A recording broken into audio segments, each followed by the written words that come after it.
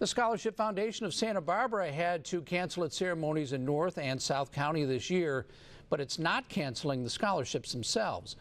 As Fox 11's Tracy Lehr reports, some recipients have had a very difficult year. These flags flying high above State Street are a reminder of what the Scholarship Foundation of Santa Barbara does. It's very gratifying to be able to announce just over $6 million of awards to almost 1,800 of our local Santa Barbara County students.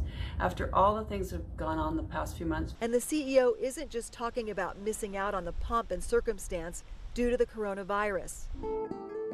Two of the recipients, Azalea and Dahlia Corral, and their two younger siblings, lost their educator parents, Adolfo and Mary Jane Corral, in a DUI hit and run crash three months ago in Goleta. The suspected driver is still awaiting trial. Both these young ladies are standout students, and these awards were made strictly on the basis of their academic achievement.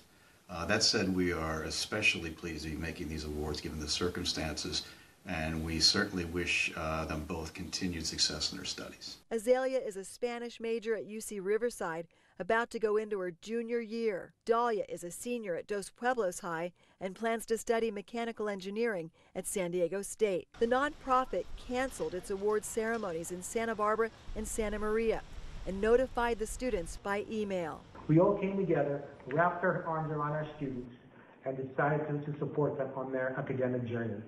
This is just an incredible opportunity to say congratulations, all scholarship recipients, and thank you, all community members, for your support.